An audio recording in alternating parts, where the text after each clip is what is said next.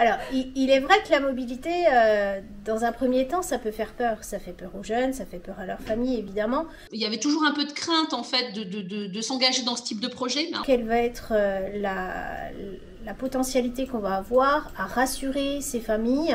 Eh bien, ça va être avec les témoignages des anciens qui seront partis. Euh, l'avantage de préparer sur sur euh, quasiment euh, une année scolaire le, projet, euh, leur permet également de, de rentrer en douceur dans, ce projet-là et, de, de, faire tomber petit à petit toutes les appréhensions qu'il pourrait y avoir, notamment au niveau des barrières de la langue. Bah, quel est l'impact post-mobilité?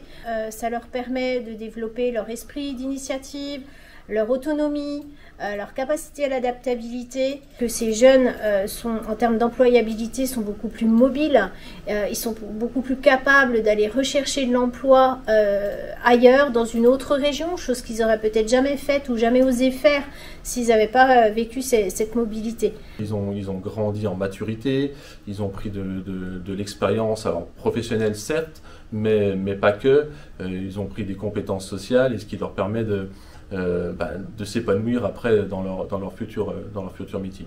La, la, première chose que l'on voit chez nos élèves, c'est quand même la maturité.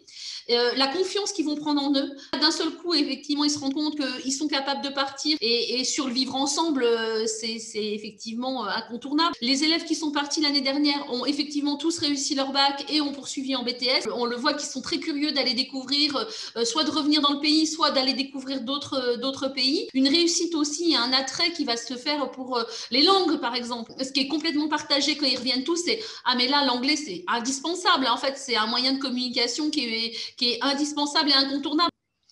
Alors, sur, euh, sur le climat scolaire, on va retrouver effectivement euh, des, impacts très positifs. Alors, à la fois dans le groupe d'élèves qui est parti, parce que forcément, lorsqu'on partage du quotidien en dehors de son d'un milieu sécure finalement, hein, donc euh, ça permet aux élèves eux aussi de créer des liens qui sont plus forts. Je ne saurais que encourager chacun d'entre nous, adultes comme élèves, de s'engager au moins une fois euh, dans, sa, dans, sa, dans sa vie professionnelle ou dans, sa, dans son parcours scolaire sur une mobilité, oui, c'est gagnant à, à 200% en fait Erasmus ⁇